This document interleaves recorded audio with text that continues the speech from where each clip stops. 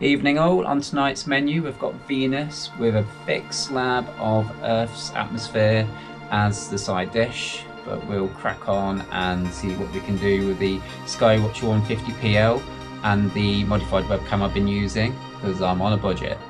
So here we have it all set up with the camera in the focuser, the webcam, and it's plugged into a laptop and I'm running free to download SharpCap and this is to capture the, the basically a movie of Venus here. As you can see it's just kind of on the edge of the, the frame there. It's a very tiny sensor so I'm lucky to get it kind of anywhere in the sensor with this crude mount. It doesn't doesn't seem to be tracking too well.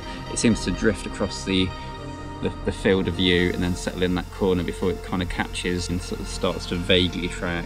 I need a better mount basically Anywho, so what I've done is I've reduced the exposure to try and show the phase, else it's just too bright and it's just disappearing off the frame now. But I've got the exposure settings to 500 milliseconds with a gain of 62. And you can see that lovely kind of reddy, orangey, yellow colour.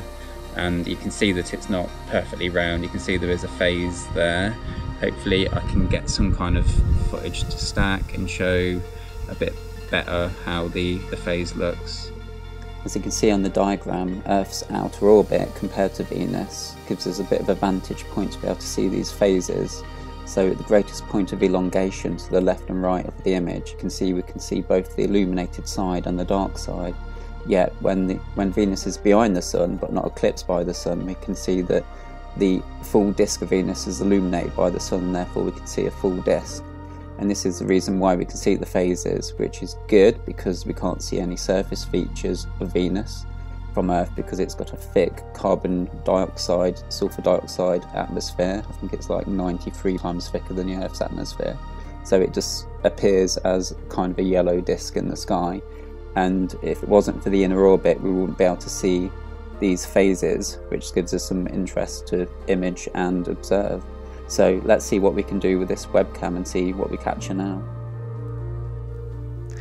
Here I've taken that AVI file of Venus and I've um, put it through a program called PIPP or PIP, which is free to download pre-processing software which effectively crops each frame and I believe it selects the best frames ready for stacking.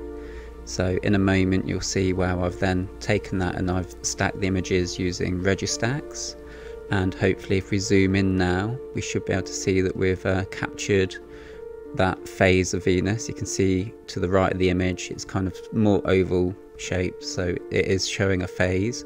And you can see some effects of the Earth's atmosphere because this was captured very very low down just above the rooftops of the houses. So you can see sort of red fringing from the effects of the earth atmosphere the diffraction of the earth's atmosphere there but we have done it. We've captured a phase of Venus using a very cheap supermarket webcam that I've modified and just popped in the focus of a telescope that's tracking Venus. Well, kind of tracking Venus.